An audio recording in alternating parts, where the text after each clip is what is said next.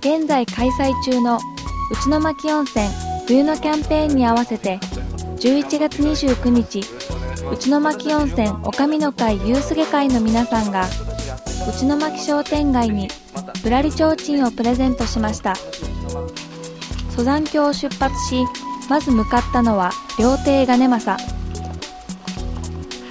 ユースゲ会の会長からお客様へのサービスよろしくお願いしますと挨拶がありぶらりちょうちんを手渡しました。受け取られたちょうちんは早速玄関口に下げられました。続いてやってきたのは和楽こちらもプレゼント後すぐに店頭に下げていただきました。